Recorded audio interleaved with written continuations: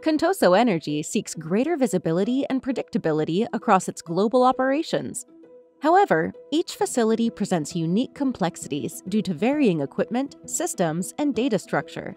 To address this challenge, Contoso has embraced Azure's adaptive cloud approach. Because this approach uses standardized ways to manage infrastructure, develop applications, and harness insights, Contoso can unify their teams, systems, and data. Let's see it in action. Meet Laura, an operations manager who oversees reliability solutions and proactively addresses issues within her region's wind farms. Today, she and her team are implementing an anomaly detection solution in their New Zealand location. Priya, an IT professional collaborating with Laura, takes charge of deploying the solution. Hardware in the wind farm substation will host the anomaly detection app, so Priya works with an on site engineer to prepare. She uses Azure Arc to deploy and configure the infrastructure.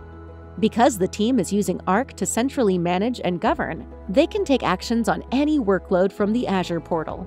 Then, to ensure continuity in operations, she will deploy a Kubernetes cluster for the application to run on. Her team has decided to use Azure Kubernetes Service to deliver the desired availability and scale needed for this solution. She taps into Microsoft Copilot for Azure to assess her substation's resources and to investigate an alert related to one of the clusters. Reassured by the stable underlying infrastructure and application platform, she can now confidently deploy the anomaly detection application. Now, Priya needs to represent the wind farm's turbines and substation as digital assets. Collaborating with an OT engineer, Priya uses Azure IoT Operations to select the relevant data points and defines the events she wants to capture. IoT Operations will process and transform this data to suit the anomaly detection application's needs, and she will direct the data pipelines accordingly. The application now detects patterns in operational data, such as voltage levels, turbine speeds, and critical information, in real time. Priya can configure IoT operations to send processed data to Microsoft Fabric in the cloud for further analysis and model improvement. Priya reaches out to Contoso's data professional, Lucas. Lucas fine tunes the new dashboards that Laura will use, and operational insights are now at Laura's fingertips.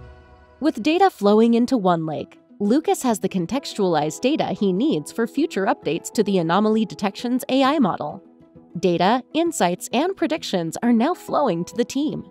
Laura glances at the new dashboard and notices that three wind turbines in the Greta Valley wind farm are showing imminent failures.